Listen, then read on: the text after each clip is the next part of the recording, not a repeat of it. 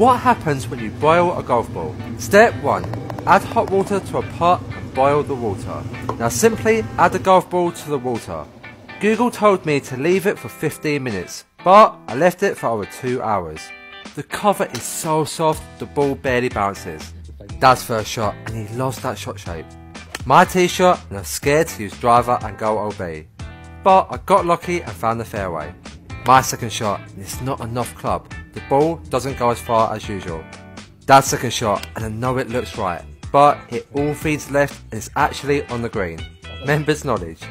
My third shot and look at this. I went for the low spinner with the lob wedge and it's perfect.